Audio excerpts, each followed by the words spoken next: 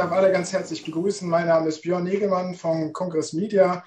Ich bin bei uns der Moderator und äh, ja immer auch so ein bisschen der Programmgestalter unserer verschiedensten Veranstaltungen, die wir machen. Hier bei der Shift CX äh, dreht sich dabei immer alles um die Diskussion rund um mehr Kundenzentrierung, mehr Kundenerlebnis, mehr Kundenbegeisterung, was wir ins Marketing, äh, Vertrieb und Service bringen wollen. Und es geht dann immer um die Fragestellung, wie, wie schaffen wir das? Ähm, das Customer Experience Zeitalter ist durchaus natürlich schon ausgerufen, schon seit ein paar Jahren. Und äh, die Bedeutung ist hoch aufgehängt, äh, dass das die Zukunft für die Unternehmen ist. Aber äh, bricht man es runter auf die Realität, äh, da muss man doch immer feststellen, dass das doch sehr ernüchternd ist, was in der Realität umgesetzt wird. Und darüber diskutieren wir immer wieder. Ähm, wo muss man da weitere Schritte geben? Was sind Trends? Was sind äh, Entwicklungen? Äh, das ist so ein bisschen das Thema der Shift CX-Plattform. Dazu machen wir verschiedenste Veranstaltungen und auch unseren wöchentlichen Shift CX-Talk, äh, zu dem ich mir immer interessante Gäste einladen darf, mit denen ich über aktuelle Themen spreche, Themen, die Sie aufgebracht haben, Themen, die gerade zur Diskussion stehen. Und diese Woche darf ich da an meiner Seite hier begrüßen Jetzt bringe ich Sie mal in den Vordergrund. Einmal den Professor Dr. Nils Hafner. Hallo Nils. Hallo, und ja. Harald Henn. Hallo zusammen.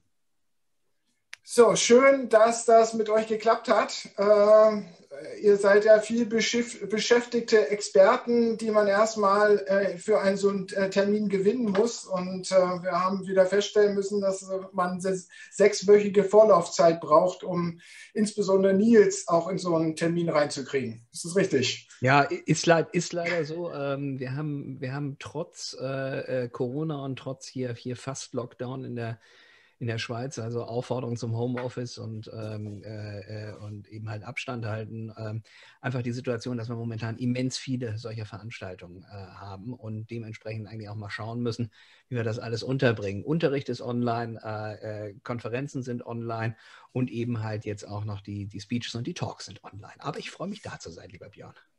Ja, Nils, du hast es ja schon angebracht. Äh, aus der Schweiz, du bist äh, ähm, Hochschulprofessor, aber auch Berater zum Thema Kundenmanagement äh, in der Schweiz äh, äh, und da schon seit ewig äh, ja, in, in, dem Thema unterwegs. Beschäftigt derzeit an der Hochschule Luzern. Ähm, aber beschäftigt sich natürlich auch mit verschiedensten Buchpublikationen zu diesem Thema schon schon auf vielen Bühnen und äh, auch in vielen Projekten, war es auch öfters schon mal bei uns in der Veranstaltung.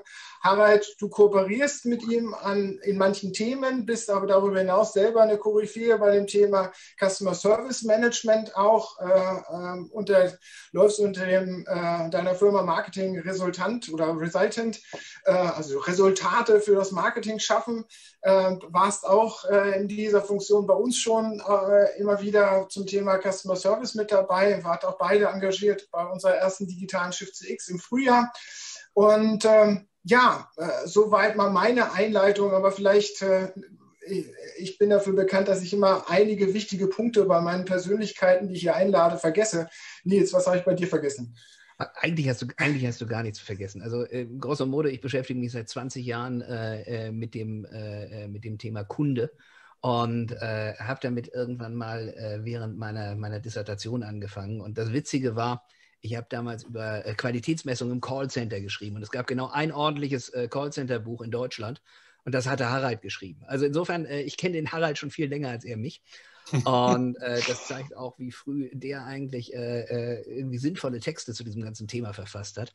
Und äh, insofern freut es mich mega, dass wir jetzt zusammenarbeiten können und auch so unsere jeweilig doch sehr, sehr unterschiedlichen Sichtweisen auf eine und dieselbe Sache Harald mehr mit seiner methodisch-technischen Optik, ich mehr so aus meiner, aus meiner strategisch-methodischen Optik so zusammenwerfen konnten, dass wir eigentlich sagen können, es gibt einen etwas größeren Blick auf das Thema Trends im Custom Experience Management. Nils, was ich immer noch immer wieder faszinierend finde, du bist schon so lange in der Schweiz, hast da immer noch so einen schleswig-holsteinischen Mundart hinten. Äh, die Melodie, das hört sich immer noch nach Norddeutschland an. ja, äh, das, das, kannst du auch, das kannst du auch nicht abstellen gerade für deutsche äh, Veranstaltungen will ich das auch nicht unbedingt abstellen. Ähm, weil Aber du könntest auch Schweizerdeutsch mittlerweile nein, sprechen. Nein, nein, da ist mir mal Gewalt angedroht worden von meiner Bäckersfrau, wenn ich das nochmal versuche, Mundart zu reden. Und das habe ich dann versucht und die hat mit Backwerk nach mir geworfen und seitdem, ähm, seitdem äh, lasse ich das mal sein, Mundart zu reden. Da sind die Leute auch hier immer ganz dankbar. Ähm, die haben dann auch immer den Eindruck, wenn ich dann in den verschiedenen Zeiten wechsle äh, äh, und äh, dann ins in Konjunktiv falle, dass das dem Schweizerdeutschen auch nicht gut tut. Harald, ja, was habe ich bei dir vergessen? Du hast auch nichts vergessen. Alles gut. Äh, passt soweit alles. Und äh, ja, ist in der Tat schon witzig, dass äh, Nils mich schon so lange kennt mit einem, mit dem alten Callcenter-Buch, was da irgendwo hinter mir, hinter dem virtuellen Hintergrund immer noch im Regal irgendwo steht, dass das Thema eigentlich schon so alt ist und wie du eingangs ja auch gesagt hast, ähm, immer noch total virulent ist, jetzt vielleicht durch Corona nochmal ein Stück weit mehr in den Mittelpunkt gerückt ist und dass sich äh, an manchen Stellen doch so wenig bisher eigentlich auch äh, bewegt hat. Es gibt ein paar Ecken, wo, äh, wo sehr viel Dynamik drin ist und dann gibt es ein paar, wo du denkst, Mensch, das hast du doch schon vor, vor zehn Jahren oder vor 15 Jahren irgendwo mal äh, gepredigt und, und, und missioniert. Nils das gleiche. Du da schon auf Verzweifeln? Nee, ich bin nur, äh, ich werde nur zunehmend lustig überrascht. Vor kurzem war das jemand aus Aachen, der sagte, kannst du nicht mal deine, deine Folie außen fächern in Bündeln, kannst du die nicht mal auf den aktuellen Stand bringen? Ich sage, wieso? Ja, da steht ja immer noch drin, Fax und SMS.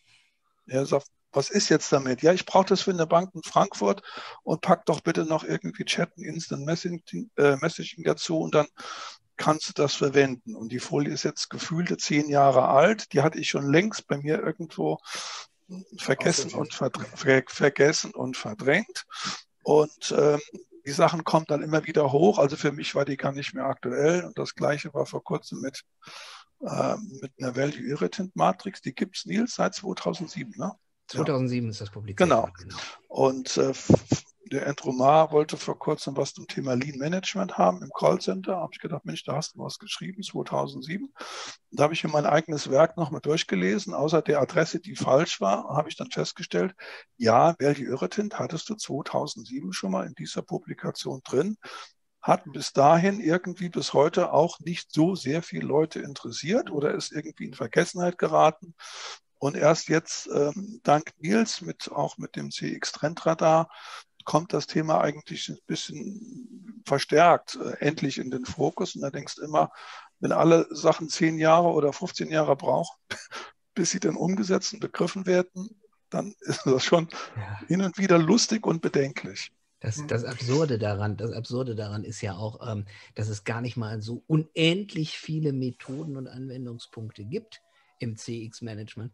Bloß, dass äh, jeder meint, er muss dem Kind einen neuen Namen geben, um sich das als, äh, äh was weiß ich, eingetragenen Trademark schützen zu lassen. Und, oder äh, zumindest das eingetragene Trademark-Zeichen hinter seine individuelle Benennung ein und derselben Sachverhalts zu schreiben. Und äh, das, ist, äh, das ist so eine ganz große Schwierigkeit, unter der wir kranken, weil wir natürlich in diesem Kundenmanagement auch einen ganz Großteil Marketing äh, drin haben und Marketing eine ganz relevante Geschichte für das CX-Management ist. Aber ähm, also diese, diese Individualprofilierung, die ist, äh, die ist ganz, ganz besonders schwierig. Und insofern äh, äh, werde ich dann immer komisch angeguckt, wenn ich dann frage, ähm, worüber reden wir denn eigentlich und eine Definition versuche zu bringen, die sich aus gesundem Menschenverstand ergibt. Mhm. Und äh, das hält auch vor den Hochschulen nicht auf. Also ich wurde da zwischendrin auch mal aufgefordert, für unseren Masterstudiengang äh, den, äh, den Lehrveranstaltungen etwas peppigere, zeitgemäßere Namen zu geben. Das habe ich dann getan. Und dann äh, wurde mir gesagt, ja, ob man das nicht auch noch auf Englisch formulieren könnte. Und äh, das, ist dann, das ist dann immer doch etwas absurd, wenn man für Sprachklarheit sorgen will in diesem Umfeld. Und, äh, und dann hat man es mit diesen Tendenzen zu tun. Aber es scheint sich nach wie vor gut zu verkaufen. Es leben ja auch sehr viele Menschen davon.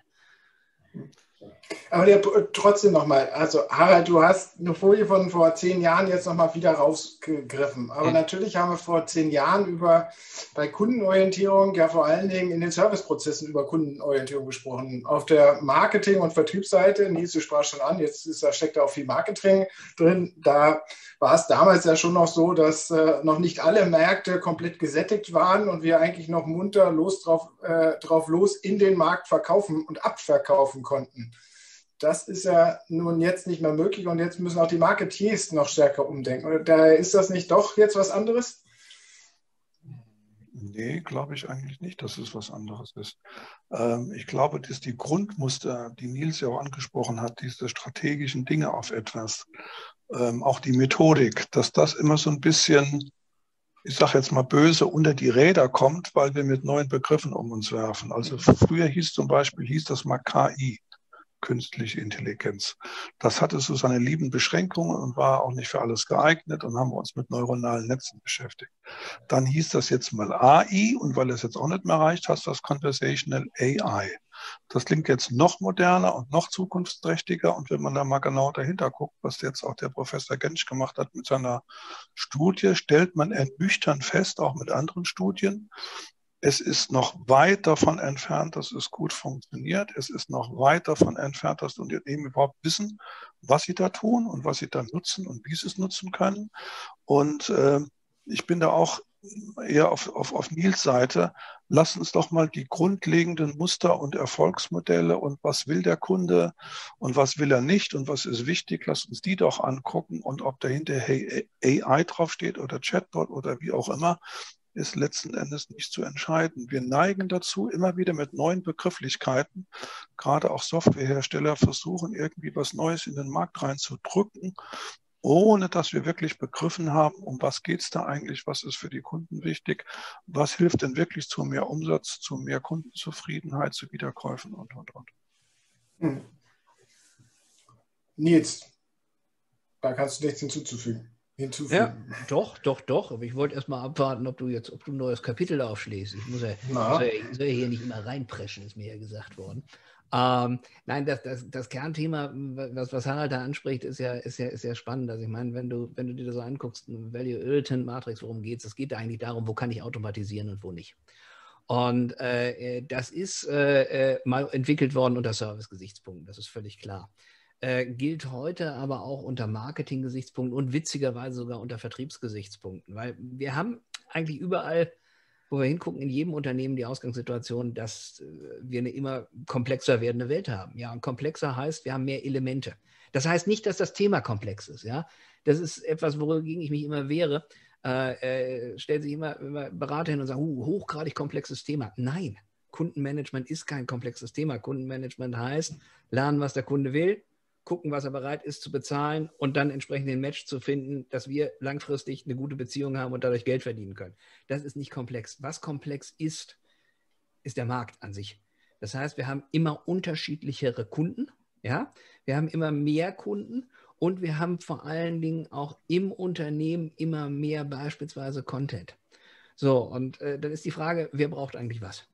So, und das ist dieses Zuhören, was Harald eben skizziert hat. So, und jetzt ist die Frage, wie kriegen wir das, äh, das richtige Stück äh, Wissen, Information oder Produkt an den richtigen Kunden?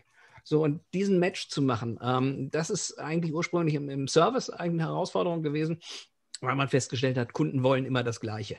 Ja, äh, das ist aber im Marketing auch nicht unbedingt anders. Also ich sage mal, die grundlegenden äh, äh, äh, Bedürfnisse, die Kunden an uns haben, ergeben sich aus unserem Produkt- und Leistungsangebot, ja aus unseren Kernkompetenzen. So, und jetzt ist natürlich die Frage, welcher Kunde braucht was, wann? So, und dieses Wann macht die ganze Geschichte komplex, weil sich das einfach pro Kunde unterscheidet.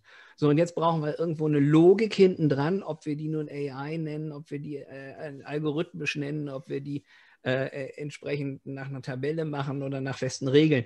Das ist mir eigentlich verhältnismäßig egal. Wir brauchen eine Logik, indem wir sagen, Ausspielungslogik, was geben wir wem wann. Das ist in der Werbung eigentlich immer schon ein Thema gewesen. Ähm, bloß äh, hat man Werbung eben halt mit ganz wenig Kanälen, ganz wenig Inhalten auf die breite Masse abgezogen. Das können wir jetzt natürlich auf einzelne Gruppen, sogar auf einzelne Kunden ausspielen. So, und das ist das, was mit dem Marketing passiert ist. Das ist im Prinzip genau der gleiche Sachverhalt ähm, richtiger Kunde, richtige Information, richtiger Zeitpunkt und richtiger Touchpoint. So, und jetzt, jetzt passiert das spannenderweise auch im Vertrieb. Und das ist etwas, was ich äh, äh, unwahrscheinlich interessant finde. Ähm, das ist eigentlich so das Thema diesen Herbstes, dass drei völlig unterschiedliche Firmen im Softwareumfeld auf mich zugekommen sind und haben gesagt, was heißt denn Automatisierung eigentlich im Vertrieb? Und das ist für mich eigentlich ein ganz großes Thema, weil da gehen jetzt die Unternehmen nach Service, nach Marketing in der nächsten Welle rein und überlegen sich so, was sind denn typische Dinge, die sich im Vertrieb automatisieren lassen? Beispielsweise das Versorgen von Kunden mit Produktinformationen zur rechten Zeit, ja, über die ich dann auch reden kann. Also mit bestehenden Kunden, mit bestehenden Produktinformationen. So, und äh, äh das Automatisieren von Zusendungen, das Beantworten von, von klassischen Fragen, die Überlegung, wer qualifiziert für welchen Rabatt, ja. Und wenn man sich da dieses Thema anguckt, boah, das ist alles noch nicht so wahnsinnig weit. Und das kommt jetzt so sukzessive eigentlich rein. Methodisch dahinter steckt aber das Gleiche, was wir eigentlich seit 2007 kennen. Kernidee. Ja. Aber Absolut. jetzt seid ihr da natürlich, finde ich, schon äh, ziemlich weit äh, vorgehuscht, äh, sozusagen, jetzt im Gesprächsthema. Ihr bezieht sozusagen, unsere große Herausforderung ist jetzt schon eigentlich ähm, die ganze Automatisierung von äh, individualisierter Kommunikation, sei es im Service, sei es im Marketing oder im Vertrieb. Ähm, vor dem muss ja erstmal überhaupt das Verständnis über die individualisierte Kommunikation stehen und das Verständnis, dass wir den Kunden auch so unterschiedlich wahrnehmen. Seht ihr das als ausreichend gesetzt in der Realität bei den Unternehmen? Also eine sehr, sehr gute, das ist eine sehr, sehr gute Frage. Also ähm, wir haben ja mal als Ausgangspunkt äh, da meine, meine, meine Business-Philippiker äh, genommen, die, meine sieben Thesen, die ich mal mh, hm, entwickelt habe auf meinem Blog zum Thema, was kommt denn eigentlich nach Custom Experience Management? Und ähm, Kernpunkt ist, wenn wir uns Custom Experience Management anschauen, dann ist das in sich ja erstmal, erstmal schon gegenüber dem, dem CRM-Gedanken, wo der Wert eigentlich, äh, Kundenwert im, im Hintergrund stand, eigentlich erstmal tatsächlich schon mal ein Rückschritt. Weil ähm, jetzt wird da vorausgesetzt, okay, wenn jemand eine gute Gesamtexperience hat, wird der schon mehr kaufen. Und so rechnet sich ja auch ein NPS. Ne? Wenn, du ein, wenn du einen Detraktor zu einem Unterstützer machst, dann kauft der X Produkte mehr, dann kauft der, dann empfiehlt der X mal weiter oder bleibt länger Kunde. So, das passiert aber nicht automatisch mit jedem Kunden. Ja, sondern das passiert im Durchschnitt. Das können auch die Kollegen von, von Bain relativ gut nachweisen. Und jetzt ist es ja eigentlich interessant, sich zu überlegen, bei welchem Kunden ist das denn besonders wahrscheinlich? Bei welchen Kunden sind wir denn besonders daran interessiert, eine gute Beziehung zu haben. So, und ähm, da habe ich eigentlich gesagt, wir müssen den Kunden deutlich besser kennenlernen. Das wird halt methodischer momentan. Wir machen ja rauf und runter momentan Customer Journeys. Also äh, in, in vielen, vielen Unternehmen erschöpft sich ja das Thema Experience Management an ähm, Journey Mapping. Ja, wir machen eine Journey, wir designen eine Journey und dann dieser Bereich Design, was eigentlich nur ein ganz kleiner Teil von, Customer Experience Management ist, der ist relativ gut, ähm, relativ gut abgedeckt. Aber die wenigsten Unternehmen haben sich vorgängig überlegt, was will ich denn damit eigentlich erreichen im Sinne von Geld verdienen? Und was muss ich denn über meinen Kunden wissen, um dessen Journey in den richtigen Kontext zu setzen und hier meine Produkte und Dienstleistungen so zu verkaufen, dass der Kunde äh, das nicht nur als eine Problemlösung ansieht, sondern vielleicht auch als eine überdurchschnittlich gelungene Problemlösung ansieht. Also eine rundum positive Experience hat und äh, sich zumindest nicht darüber äh, äh, aufregt, dass er zu viel Aufwand mit uns hat. Ah, das ist das doch sind, eigentlich die Geschichte. Dann sind wir bei dem Thema Daten, Daten, Daten. Das ist ähm, in der Vergangenheit ja auch schon immer stiefmütterlich äh, behandelt gewesen. Ne? Also wenn man mal guckt, wie gut sind überhaupt die, die Adressen gepflegt im Unternehmen, was ja eine Grundvoraussetzung ist für viele Dinge, dann stellt man ja schon fest, ähm, da liegt keine besondere größere Sorgfalt drauf. Ne? Ich kenne ein Unternehmen, was in den Zielvereinbarungen der Vertriebler vereinbart hat. Ein Vertriebler darf bei Böhringer Mannheim, nicht zu verwechseln mit Böhringer Inheim. Ein Vertriebler bei Böhringer Mannheim darf, wenn der Quality Customer Address Index unter einen bestimmten Wert sinkt, also aktuell, vollständig und richtig, die haben ein ganz einfaches Modell dafür, dann darf der keine neuen Vertriebskampagnen starten und hat außerdem ein kostenloses Mittagessen beim Vorstand, was meistens nicht sehr lustig ist. Ähm, und ähm, es gibt ganz wenige Unternehmen, die so einen Qualitätsindex für ihre Daten haben. So, und jetzt kommt das Thema, wir haben jetzt, wie Nils das ja auch angesprochen hat, kom also kom komplizierterer Kundenreisen. Ich, mit dem Wort komplex muss man vorsichtig sein. Also über mehr Kanäle und mehrere Touchpoints, einmal vor, einmal zurück und nochmal irgendwo. Und äh, für diese Kundenreisen brauche ich ja auch Daten. Wo kommt er her, aus welchem Kontext heraus handelt er, was will er, wo war er vorher? Und, und, und. Und wenn ich dann noch nicht mal richtige Adressdaten habe, also ein großer Automobilhersteller, was vor, vor kurzem habe ich das gelernt, ähm, eine Inhaberin eines ähm, relativ großen äh, Einrichtungshauses in Stuttgart noch eine Probefahrteinladung für den verstorbenen Mann, der übrigens vor zwei Jahren schon verstorben ist, rausschickt. Und sie selbst kriegt drei Einladungen. Dann brauche ich mir Customer Journey Mapping und so weiter keine Gedanken mehr zu machen. Also die, die Probefahrt wird nicht stattfinden. Auch nicht die nächsten Customer Journey Schritte werden stattfinden, weil ich vorher schon im ersten Schritt alles verhunzt habe mit mit schlechten Daten irgendwo. Also dieses Thema der Daten, angefangen von guten und gepflegten Adressbeständen bis hin äh, zu, wann muss ich welchen Content einspielen, äh, wo befindet sich der Kunde, aus welchem Kontext heraus handelt er, was ist seine Absicht. Das ist dann nochmal eine Stufe höher. Da sind viele Unternehmen noch nicht besonders gut aufgestellt.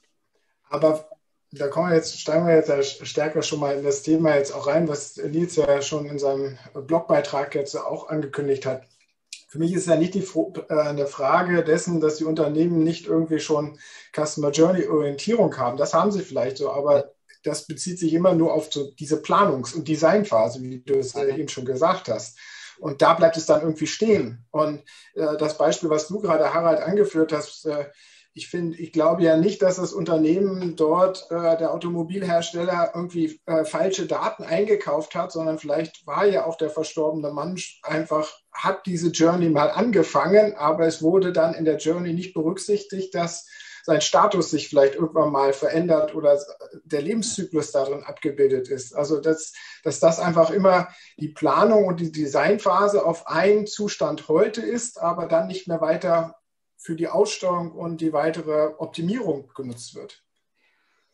Ja. Naja, also die Adresspflege hat eigentlich mit Journeys nichts zu tun. Ne? Adresspflege sollte eigentlich das, die Pflichtaufgabe, die sollte in, dem, in den Zielvorgaben eines Außendienstlers drinstehen. Ne? Wie oft muss er regelmäßig Kontakt mit seinen wichtigsten Kunden haben? Wir reden nicht über einen kleinen Kunden, wir reden einen, der äh, mhm. vielleicht zehn Firmenautos hat und privat dort äh, auch eingekauft hat, seine Autos.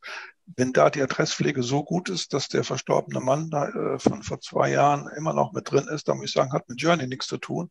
Das ist einfach eine ganz schlechte innere Einstellung zum Thema Adress- und Datenqualität und Wertschätzung gegenüber Kunden. Da brauche ich noch nicht mehr über Journey reden. Aber ich gebe dir recht, auch das operative Umsetzen vom Customer Journey Mapping ist was Geiles für die Marketingleute. Da stehe ich unverbindlich irgendwo von so einem Metaplanwand, klebe lustige Post-it-Zettel irgendwo, dann gebe ich das in eine Software rein. Das sieht mega geil aus, wenn ich mit zum DIN A0-Blatt irgendwo zum Vorstand gehen kann, kann sagen, guck mal, wir haben jetzt eine ganz tolle Customer Journey. Das ist ja auch unverbindlich, aber wenn es dann heißt, ja, was heißt das konkret in der Praxis irgendwo? Verbessern wir jetzt denn mal die Erreichbarkeit bei unserer Service Hotline? In der Google-Suche tauchen wir erst auf der zweiten Seite auf und wir sind gar nicht auffindbar. Auf der ersten kümmert sich da jemand drum wenn man an diese kleinen nitty-gritty-Dinge dann mal denkt und sagt, das müssen wir jetzt mal konkret umsetzen. Wir haben in der Journey festgestellt, dass der Kunde äh, das, was wir da geschrieben haben, gar nicht versteht. Schreibt jetzt jemand den Text um? Bis wann tut er das? Wir scheitern immer wieder an den gleichen Dingen. Wie gesagt, Journey Mapping ist eine geile Geschichte, ähm, unverbindlich, bunt, lustig, kannst den Vorstand mit beeindrucken und es hat ja keine Relevanz und keine Konsequenz, wenn dann nicht jemand sagt, wir haben da so viele Dinge identifiziert. Wer kümmert sich denn mhm. jetzt bitte darum? So, dann, dann, dann, müssen wir das Ganze natürlich noch weiter drehen. Ähm, in den allermeisten Unternehmen werden solche Journey Mappings ja nach wie vor ähm, schön mit Post-its gemacht und dann übertragen. Wir dokumentieren das mal entweder in einem, in einem PowerPoint oder in einem Excel. So, und äh, äh dann hat man auch vielleicht identifiziert, was man tun sollte, dann tut man das vielleicht auch, aber jetzt auch die Frage, wann wird das denn angepasst? Und wird das in allen Versionen angepasst und wird das bei allen angepasst, äh, äh, bei denen diese, dieses PowerPoint, äh, Excel oder Word dann hingeflogen ist. So, und äh, das ist natürlich, das ist natürlich also eine, eine, ähm, eine händische äh, äh, Sisyphus-Arbeit, die in die Vollkatastrophe führt, weil sie zu namenloser Verwirrung führt. Und ich vergleiche das immer eigentlich mit einem Logistiksystem. Wir führen unseren Lagerbestand auch nicht mehr in Excel oder in PowerPoint Das machen wir nicht, sondern da haben wir eine ERP-Software hinten dran. Mhm. Und dementsprechend ist das Thema Mapping ja nicht nur unter grafischen Gesichtspunkten eine wichtige Geschichte, unter Analyse-Gesichtspunkten, sondern auch unter Management-Gesichtspunkten. Und das ist so einer der Punkte, wo wir dann sehr schnell von den Daten eigentlich zum Management kommen, ja. Wir haben, du hast ja damit angefangen, sehr schön so eine, so, so eine Wissenslücke, ja. Wir wissen zu wenig über unseren Kunden. Wenn wir das dann einmal aufgefunden haben, ja, dann, dann wollen wir ja auch was verändern, so. Und wer mappt die Veränderung wieder zurück in den, äh, äh in, in den Journey-Stand, ja? Also, äh, ich sage ja, das Thema Customer Experience Management ist in einigen Teilen sogar ein Rückschritt. Also, wir reden im CRM seit 2000 Peppers und Rogers haben damit angefangen. Ja, seit 2000 reden wir von lernenden Prozessen, ja, von einem Closed-Loop-Prozess. Das sind Dinge, die haben wir aus dem Qualitätsmanagement aus Japan aus den 1980er Jahren. Ja, keinen Fehler zweimal machen, denn sonst heißt das wie doof. So, und genau das wollen wir nicht. Wir wollen intelligentes Management machen. Und deswegen sage ich, wir brauchen auch die richtigen Tools dazu. Und das ist häufig, ähm, das ist häufig noch gar nicht so richtig verstanden worden, ähm, was eigentlich ein Tool mit Mapping mit lernenden Prozessen und mit dem Vermeiden von Fehlern zu tun hat. Im. Endeffekt geht es darum, wie in jeder schönen Beziehung zwischen Menschen, wir wollen Fehler vermeiden. Ja? Fehler macht ja, man in Beziehungen auf jeden Fall, aber wir wollen Fehler vermeiden. Das ist ja das, was ich meine. Die Customer Journey darf nicht nur Planungstool sein, sondern muss auch Steuerungstool sein. Ja, das ja. funktioniert ja erst, wenn ich den Rückfluss von den Ereignissen, die da draußen entlang der Customer Journey passiert sind, auch wieder zurückspiele als Datenform und gucke, okay, stimmte das mit dem Ursprung, mit meiner Planungsversion äh, sozusagen überein? Und daran muss man ja ständig arbeiten, oder nicht? Ja, plus, plus noch der Punkt, es muss eigentlich, wie ich das mit, mit, mit Böhringer gesagt hatte, es muss von oben dann auch eingefordert werden und sanktioniert werden. Also es nutzt ja nichts, wenn eine Stabsabteilung Customer Experience macht und die sagt, ja, da müssten wir jetzt mal das und das ändern irgendwo. Nein, da muss irgendjemand aus dem Vertrieb, aus dem Marketing und Service sagen, Achtung, das kostet mich zu viel Geld. Oder, oder der Chief Financial Officer kommt und sagt, also dieser Vertriebs- und Marketingprozess, so wie wir ihn jetzt haben, kostet einfach zu viel Geld. Wir machen zu viele Fehler. Wir haben Doppelarbeiten. Der Kunde muss ständig wieder anrufen, weil die Lieferung nicht korrekt ist oder fehlerhaft ist oder er etwas nicht versteht. Das kostet uns dann im Customer Service sehr viel Geld. Ich möchte, dass das bis zum da kommt ein Datum, abgestellt wird. Wer ist dafür verantwortlich? So, und jetzt kann man das, da hat Nils einen guten Punkt angesprochen. Es gibt ja erste Ansätze von Software-Systemen, die machen nicht nur das Mapping, sondern die, die nehmen auch in Echtzeit Daten auf, entlang des Prozesses, Process Mining, was auch immer, speisen das ins System und es gibt eine ähm, so eine Art Nie-Projektmanagement-Tool, wo man sagt, wir haben in der Journey Nummer eins äh, folgende Punkte identifiziert, die sollen abgestellt werden. Wer ist dafür verantwortlich, bis wann und, und, und. Dann wird daraus ein Schuh, wenn man sagt, also das kriegt jetzt eine gewisse Verbindlichkeit auch fürs Management. Das sind Dinge, die sind terminiert, die sind priorisiert, die sind mit Geld und Ressourcen versehen, die müssen abgestellt werden. Und dann, wenn man dann wieder die Ergebnisse aus der nächsten Echtzeitbeobachtung äh, dagegen laufen lässt, und feststellt, ja, der Kunde ist jetzt zufrieden an dieser Stelle, der bricht den Prozess nicht ab, sondern äh, der Warenkorb wird nicht nur gefüllt, sondern der wird auch bezahlt, dann wird ein Schuh aus Custom Experience Management. Ist das das, was du, Nils, auch in deinem, wovon du vorhin auch schon von Automatisierung gesprochen hast, dass, dass dann ein Grad von Automatisierung auch in diesem äh, CX und Customer Journey Management entsteht? Mit Sicherheit. Mit Sicherheit. Also äh, Automatisierung heißt ja nichts anderes, dass wir Regeln für sowas haben. Und ähm, die, die, die, je mehr Regeln wir haben, die ähm, möglichst schnell und automatisiert abgearbeitet werden, ähm, desto weniger Fehler können eigentlich entstehen. Ähm, das bedeutet aber, dass, und, und das ist eigentlich die ganz große Schwierigkeit, dieses, dieses Thema Kundenmanagement hat unwahrscheinlich was mit Details, mit, mit eins Stellschrauben und mit immer wieder dranbleiben zu tun. Und das ist, das ist eben halt den, dann nicht das, das fröhliche Zettelkleben ähm, äh, äh, damit zu tun, dass wir uns wirklich genau überlegen müssen, wo können wir unsere Prozesse für uns und für den Kunden schneller, effizienter und auf der anderen Seite im Verkauf und Marketing aber auch effektiver machen. Also wo können wir eigentlich, eigentlich mehr dem Kunden das bieten, was er tatsächlich, was er tatsächlich braucht? Also ähm, wir sprechen da mehr und mehr jetzt auch gerade vor dem Hintergrund so von, von, von, von, von, von Voice-Bots, von persönlichen Assistenten, sprechen wir von Intent. Und, und, und da geht es also hin, dass wir also den Intent des Kunden rausfinden. Was will der denn eigentlich erreichen? Ich gebe mal, ein geb mal ein kleines Beispiel. Ähm, ich habe sehr lange hier mit der größten äh, äh, Telekommunikationsunternehmung in der Schweiz zusammengearbeitet und die hat Folgendes festgestellt, dass sie immer wieder Kunden haben, die ihre Anliegen über E-Mail formulieren und äh, dabei auch nicht besonders gut schreiben können. Der Mitarbeiter im Kundenservice liest das Ganze und äh, stellt fest, dass er es nicht versteht. Nun hat diese Unternehmung aber eine Regel gehabt, die sagt relativ einfach Eingangsregel gleich Ausgangsregel. Ja, weil man annimmt, der Kunde, der uns ein E-Mail geschrieben hat, der will auch ein E-Mail zurückbekommen. So, jetzt stellt der, der Mitarbeiter also Fragen per E-Mail zurück. Der Kunde kann dadurch, dass ein Mitarbeiter Fragen zu seinem E-Mail stellt, nicht plötzlich besser schreiben. Ist in den allermeisten Fällen so. Und schreibt irgendwas wieder zurück, was Fragen aufwirft. Ja, und was machen die? Die spielen E-Mail-Ping-Pong. So, und jetzt ist natürlich die Frage, was will der Kunde eigentlich? Was ist der Intent vom Kunden? Der Kunde will sein Problem gelöst haben. Der will nicht eine E-Mail zurück, der will sein Problem gelöst haben. Also geht es darum, den Kunden anzurufen und zu verstehen, sprachlich, telefonisch, was will der und entsprechend abzuarbeiten. So werden wir schneller. Ja? Und so vermeiden wir, so vermeiden wir Fehler. Und das heißt, wir suchen schlaue Regeln und nicht dumme Regeln. Und deswegen müssen wir uns mehr mit dem Intent des Kunden beschäftigen. Intent brauchst du, äh, äh, brauchst du beispielsweise, wenn du mit Sprachassistenten viel arbeitest. Ja? Da musst du dir immer wieder die Frage stellen, wenn ein Kunde etwas sagt in einer bestimmten Situation, was meint der, was will der und wie sieht seine Rahmensituation aus? Was ist sein Intent? Welche Aufgabe will er erledigt haben? So, Jobs to be done Konzept ist da sehr nah dran, kann man nehmen, aber grundsätzlich geht es um Intentschätzung. So, und äh, dabei ist es wichtig, einen richtigen Intent zu haben. Und der richtige Intent ist hier Problemlösung, Lösung und nicht E-Mail-Antwort. Ist das einigermaßen, äh, einigermaßen verständlich erklärt, Björn?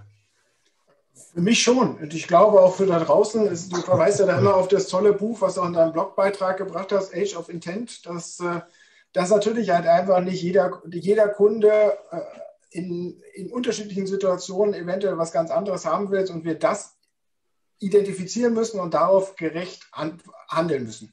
Genau. Und nicht irgendwie, weil wir den Kunden in ein Cluster eingeordnet haben, äh, der hat einen blauen Anzug und deswegen kriegt er die Maßnahme für die Leute mit dem blauen Anzug.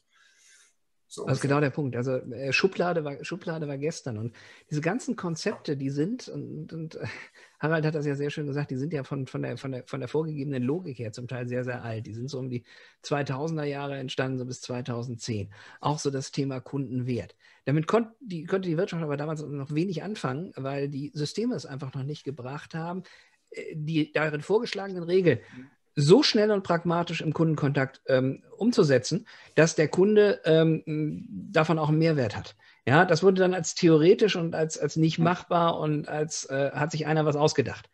Wir hatten immer den Medienbruch letztendlich. Ne? Ja, also zwischen ja. der Kundeinteraktion und dem, was wir so äh, im Planungstool entworfen haben. Ja, nicht nur Medienbruch. Also es gibt ähm, im, im, Jahr 2000 gab es eine CRM-Software, die gibt es leider nicht mehr, die hieß Cordient.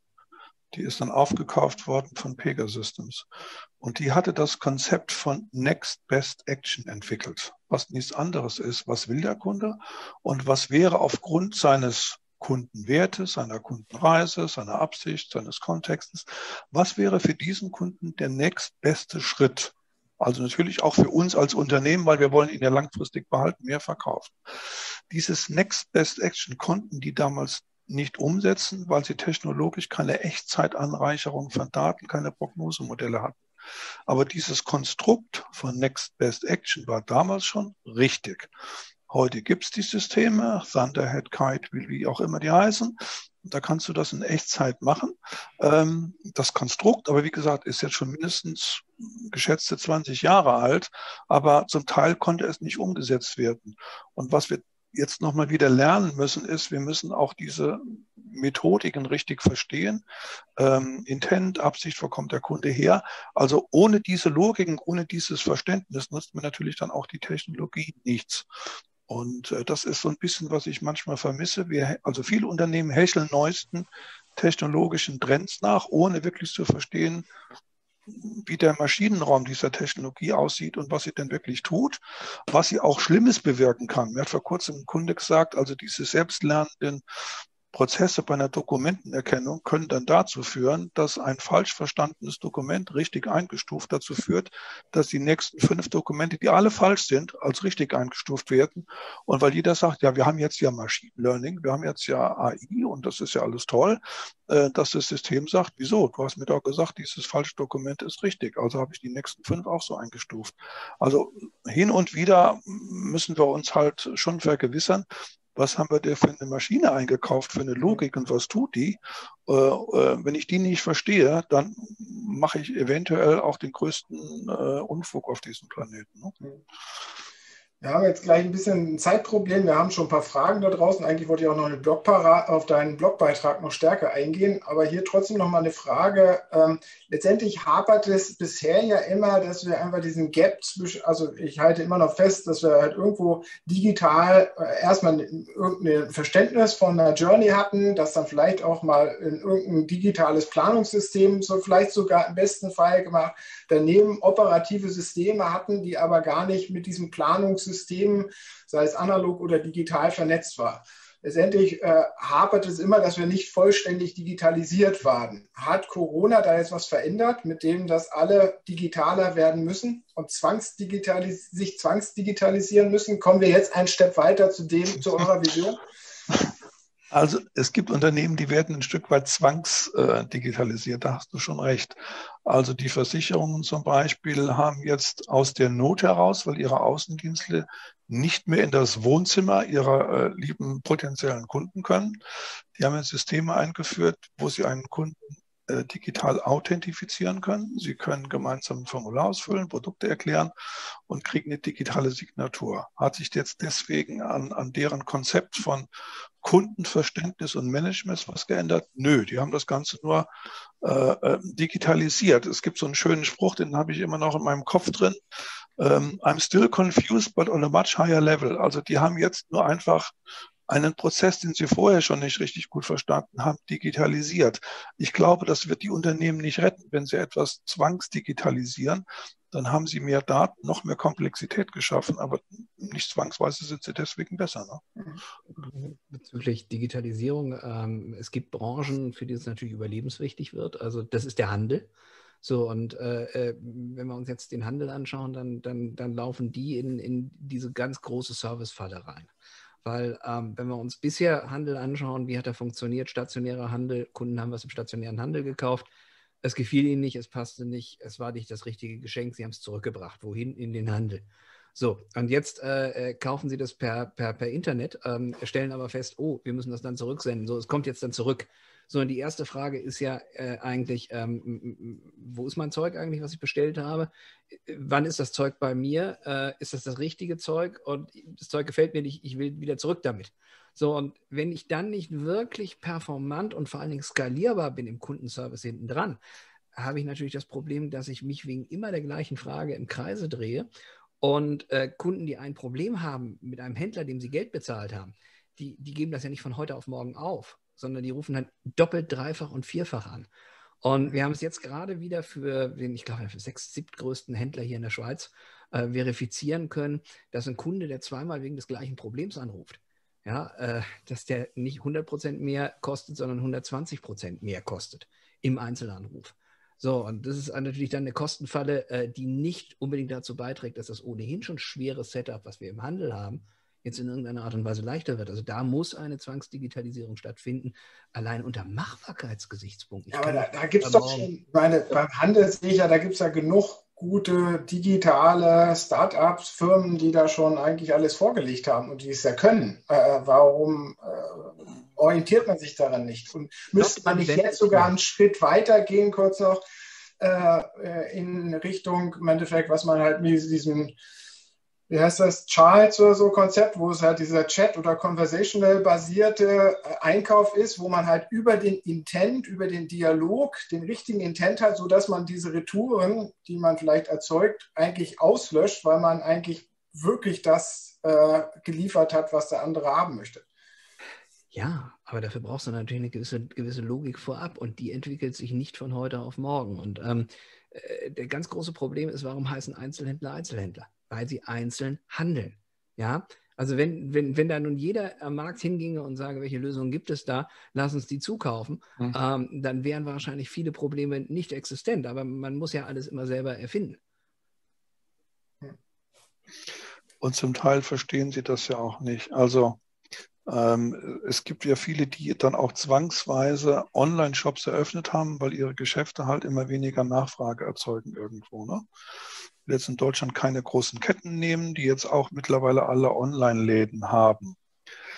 Wenn du in diesem Online-Laden etwas kaufst und will es zurücksenden, dann stellst du auf einmal fest, wie viele Hürden die da eingebaut haben und wie schwierig das ist. Ähm, alles, was bei Amazon einfach ist, ist nicht das Ergebnis von, das ist ihnen so im, über Nacht eingefallen, das war eine göttliche Eingebung, das Einfache, sondern es ist das Ergebnis von sehr, sehr viel harter Detailarbeit. Äh, wo kann der Kunde hängen bleiben? Was müssen wir tun? Stimmt die, der Produktlabel mit den Bezeichnungen auf der Rechnung überein? Kann der einzelne Produkte zurückgeben oder nur gesamt? Und, und, und. Da gibt es ganz viele kleine Details, die dann mit einer Lösung alleine nicht erschlagen werden, weil die Lösung wird dann sagen, sag mir bitte die Regeln, nach der ich eine Rücksendung jetzt fertig machen soll. Wenn du, lieber Mensch, mir die Regeln nicht gibst, dann schicke ich alles zurück oder gar nichts. Und dann sagt der Händler, ja, aber ich habe doch das beste System gekauft. Das System sagt insgeheim im, im Inneren, mein Gott, ist der Typ da vor dem Bildschirm blöd, weil ohne die Regeln kann ich das nochmal nicht machen. Ne?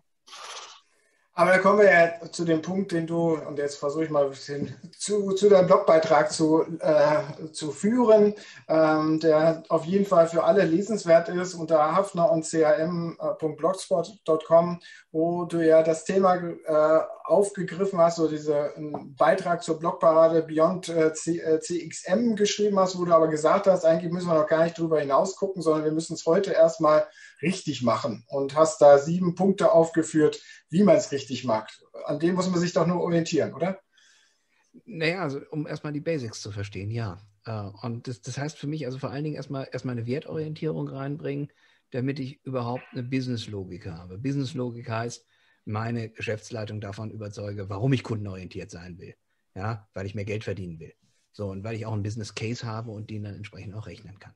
So, das ist der erste Punkt. Und der, der, zweite Punkt ist dann, dass ich mir überlegen muss, was heißt das für mich und da mal wirklich wegzugehen von diesen ganzen Bullshit-Begriffen und zu sagen, okay, was sind meine Methoden, die ich benutze, beispielsweise zum Automatisieren, beispielsweise für wirklich tolle Dialoge, für tolle Erlebnisse.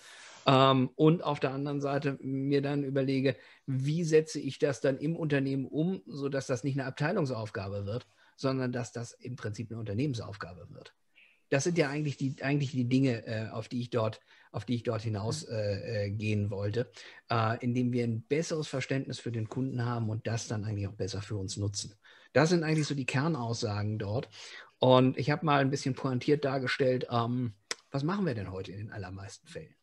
Und äh, äh, das ist auch ganz, ganz gutes Interesse äh, äh, gefallen. Also, das haben jetzt irgendwie dreieinhalbtausend Kunden äh, oder dreieinhalbtausend äh, Menschen gesehen, gelesen und auch, auch relativ breit diskutiert im Internet.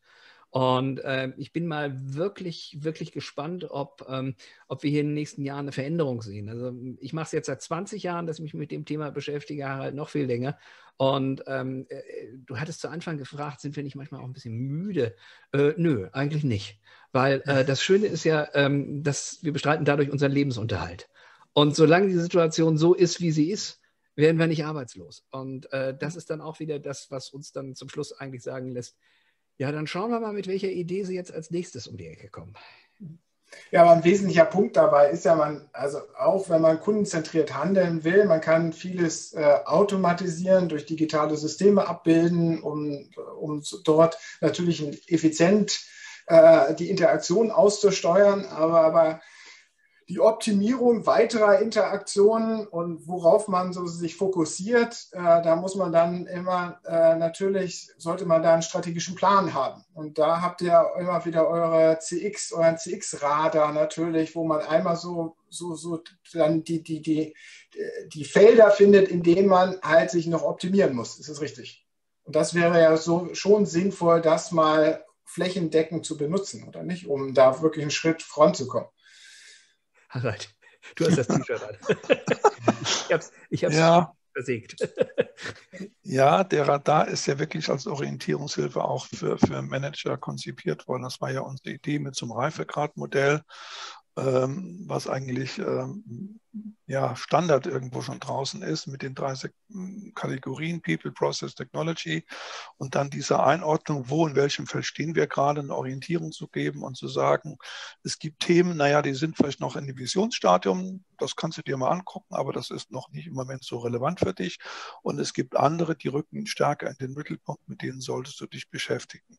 Ähm, ich glaube, das ist deswegen auch schon ganz gut gelungen, weil die, die Diskussionen, die wir auf LinkedIn, Xing und anderen Plattformen haben, die reißen nicht ab, obwohl wir jetzt schon auch längere Zeit ja, also das neue Radar ist erst in Werten für nächstes Jahr. Wir haben ja nichts Neues veröffentlicht derzeit.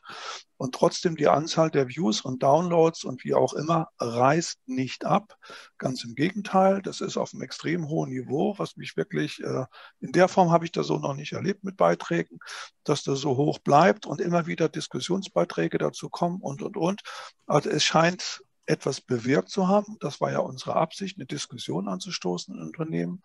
Und ich glaube auch, dass daraus dann irgendwann Aktionen folgen werden, ähm, dass die Unternehmen sagen, wir wollen jetzt mal systematisch irgendwie das Thema anpacken und, und, und. Also bisher, glaube ich, haben wir damit den, nicht nur den Nerv getroffen, sondern auch was angestoßen und bewegt. Und ich glaube, das ist ganz gut gelungen bisher. Mhm. Es führt vor allen Dingen zu Austausch. Also das ist das, das, ist das was, ich, was ich spannend finde. Also wir machen das ja beide jeweils für uns äh, schon relativ lange. Bei mir sind das immer so 30, 40, 50 Leute, mit denen ich da jeweils drüber gesprochen habe, was so die CRM-Jahrestrends waren in den letzten 10, 12, 15 Jahren. Und ähm, äh, jetzt habe ich also zum ersten Mal die Ausgangssituation, dass äh, äh, dank, dank dieser, dieser Zusammenarbeit und auch dank der, der Tiefe, die wir jetzt hier haben, hinter jedem dieser Trends liegt ja ein Reife- und ein Entwicklungsgradmodell. Und äh, dementsprechend auch die Datenpunkte. Äh, dass jetzt beispielsweise auch mal eine Firma Forrester kommt und sagt, hey äh, Nils, lass uns doch uns mal darüber unterhalten, lass uns mal über deine Prognosen, lass uns mal über unsere Prognosen unterhalten.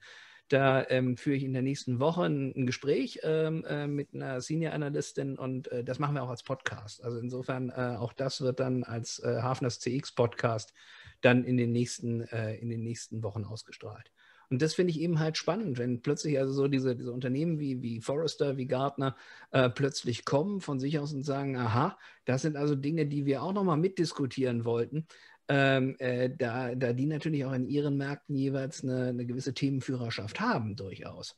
Ähm, das ist aber auch nicht jedem zugänglich, um es mal auch so zu sagen. Also so ein Durchschnitts-CEO, und wir arbeiten ja mit sehr, sehr vielen Unternehmensführern, äh, zusammen, der wird ja ähm, von Beratern und von Kongressen und von Zeitschriften überschwemmt mit Anregungen. Ja, da ist ja jeder, an dieser Zielgruppe ist ja jeder interessiert, dem Anregungen zu geben. So, also ich finde, es ist, die bräuchten einfach nur zu uns kommen, so anders alles ja, andere ich brauchen wir gar nicht. Mir, ich habe es mir ja gedacht, das wäre jetzt so die nächste Überleitung gewesen. Nichtsdestotrotz geht es ja darum, den Leuten klarzumachen, Leute, das ist relevant, das ist nicht so relevant. So, und ich glaube, das muss man auch mal auf einer systematischen und vor allen Dingen längerfristigen äh, Ebene tun. Sehr schön.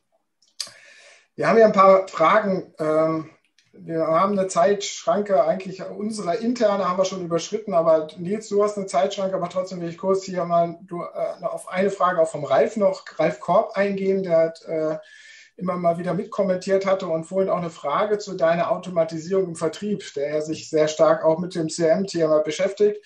Äh, ähm, Frage, welche Automatisierungsansätze im Vertrieb sind denn jetzt bereits im Angriff, weil du das vorhin schon so angeführt hattest? Ja, Welches, also man, was meinst du das? Wenn man, wenn man recherchiert beispielsweise zum, zum, zum Thema Sales Enablement oder Sales Engagement, findet man da sehr, sehr viel. Also gerade Sales Engagement ist, glaube ich, ein, ein relativ wichtiger Punkt, weil wir jetzt eigentlich dazu übergehen, so das ganze Thema automatische Content-Ausspielung. Ja, also wir sind in Kontakt mit einem Einkäufer hm, zum Beispiel und der Einkäufer übermittelt bestimmte Spezifikationen und fragt nach den genauen äh, Produktabmessungen beispielsweise. So, das hat für einen, für einen Systemverkäufer oder auch für einen, für einen Maschinenverkäufer hintendran immer eine Unzahl von Tätigkeiten, die damit ausgelöst werden. So, und das passiert regelmäßig und lässt sich über Regeln abbilden. Und das sind ähnliche Regeln, wie wir sie eigentlich im Self-Service kennen oder in, einer, in, einer, ähm, in einem Chatbot. Ähm, wenn dann, so bloß, dass die jetzt im Sales eigentlich ablaufen und Zeitfressen von dem wirklich äh, sehr gut ausgebildeten Lösungsverkäufer. Das ist ein Thema, das ist im B2B momentan relativ große Welle, die im, im Anflug ist, ähm, wo äh, äh, Unternehmen gegründet werden, wo ganze Abteilungen aufgekauft werden von den groß, äh, großen Softwareherstellern und wo man sich überlegt, wie kann ich eigentlich das machen, was ich im Service schon gemacht habe, nämlich die Zeit sparen, indem ich von Standardanfragen weggehe, wie ich im Marketing eigentlich das Timing hinbekomme, richtiger Kunde, richtiger Zeitpunkt, im Sales dann entsprechend eigentlich zu sagen, was sind denn die Standardaufgaben von höchst qualifizierten äh, Verkäufern? Software, Maschinenumfeld, äh, Systemumfeld, Chemie und so weiter und so fort. Und wie kann ich diese Aufgaben jetzt so standardisieren, dass der Verkäufer beispielsweise mehr Zeit hat, im Unternehmen Basistechnologien zu erklären? Ja, wie gehen Sie mit Technologie um? Dass der Konflikte moderieren kann im, im Unternehmen während eines Kaufprozesses da gibt es ja durchaus Konflikte, dass die Einkaufsabteilung das will und äh, die Produktionsabteilung will das. Ähm, das unterscheidet sich aber beispielsweise im Preis. So, das Unternehmen, was jetzt Lieferant ist, das muss irgendwo sinnvoll eine, eine, eine äh, Lösung dafür bringen. Und äh, das sind eigentlich, eigentlich Dinge, ähm, die jetzt äh, langsam aktuell werden. Ähm, Finde ich, ist eine ganz, ganz spannende Perspektive auf dieses, auf dieses äh, äh Thema. Ähm, und nach Service und Marketing kommt das jetzt eben halt auch in den Verkauf. Mhm. Eine andere Frage hier, die sich äh, vielleicht, Harald, kannst du dazu einsteigend ähm, äh, eine Antwort geben, wo äh, die Frage war, äh, dass wir vorhin ja von dem Closed Loop, äh, dem Rückfluss äh, und der Optimierung der Customer Journey gesprochen haben. Wo soll man da ansetzen? Was, was sind da eure Tipps und Empfehlungen? Um, um zu diesem Punkt halt hinzukommen. Denke ich mal, ist das der Hintergrund. Also ich gehe jetzt mal davon aus, dass jemand seine Customer Journey dann gut designt hat, gut implementiert hat. Jetzt geht es darum, die Messpunkte und den Closed Loop hinzukriegen. Also wir haben ja oft Customer Journeys, die bestehen sowohl aus Offline-Punkten als auch aus Online-Punkten. Bei Online ist das relativ einfach. Da kannst du immer einen digitalen Messfühler ansetzen, der dir dann da, wo du willst und wie oft du willst, die Daten abzapfst. Ähm, bei Offline, also im Geschäft draußen, ist es ein bisschen schwieriger. Das heißt, du da haben wir doch immer diese drei Punkte da, ne? Sind Sie zufrieden? Ja, ja. Oder so. ähm, Zumindest mal ist es wichtig dann, dass ich die gesamthafte Reise abbilde, die entsprechenden Messfühler habe, ob jetzt mit Punkten oder wie auch immer, QR-Code macht die Bahn, ähm, dass ich da die entsprechenden Dinge abzapfe. Ähm, und äh, dann zurückspiele. Da hatte ich eben drüber gesprochen. Es gibt diese Ansätze ja, äh, dass diese Visual Mapping Software Leute verstanden haben, dass sie ein CX Experience Management Modell haben müssen äh, mit Projektmanagement und neuen Aufgaben. Ähm, das ist immer deutlich sichtbarer jetzt. Ähm, und wenn ich dann äh, diese äh, Systeme nutze, die entlang der digitalen oder Offline-Reise ähm, das abgreife, das kann Zufriedenheit sein, das können aber auch neue Systeme sein, die aufgrund der Erkennung und Analyse der Sprache sagen, dieser Kunde hat an dieser Stelle im Prozess eine große Irritation erfahren. Er ist frustriert und er hat nicht die Absicht, diesen Prozess mit dir weiterzuführen. Also es gibt mittlerweile Systeme, die ähm, alle Interaktionen mit einem Kunden ähm, textlich oder verbal analysieren können und äh, dann auch sagen können, wo an welchen Stellen entlang der Kundenreise bricht der Kunde ab, wo ist er frustriert oder wo ist er hochmotiviert. Ähm, wenn ich das äh, wieder mit meiner Kundenreise verbinde, dann habe ich einen Closed Loop. Jetzt muss ich nur eins machen, die Verbindung zum Management und muss sagen, wir haben uns hier eine Kundenreise ausgedacht, die aber in echt nicht so läuft, wie wir uns das geplant haben. Wir haben gedacht, vom, von der Webseite geht es dann zum Sprachdialog, zum Callcenter und dann zum Bestellen. Und jetzt stellen wir fest, nee, von den 100.000 auf der Webseite gehen nur 20.000 ins Sprachdialogsystem und von denen gehen nur 2.000 ins Callcenter haben wir uns toll ausgedacht. Jetzt haben wir auch die Rückmeldung der Kunden, geht nicht, Abbruch. Dann, dann muss äh, das erfolgen vom Management was sind die Ursachen? Haben wir einen Fehler gemacht? Sind wir unverständlich? Sind wir zu kompliziert? Rauben wir dem Kunden die Zeit? Was auch immer. Und wenn das dann sich wiederfindet in einer Optimierung von bestimmten Dingen oder vielleicht sogar zur Kenntnis zu nehmen, Sprachdialog haben wir uns ausgedacht, aber die Kunden wollen es nicht, äh, ganz wegschalten, kann ja auch ein Punkt sein, dann wird daraus ein Schuh, dann haben wir auch Closed Loop. Aber das ist dann auch primär eine Managementaufgabe, was ich eben meinte, mit einfordern und umsetzen.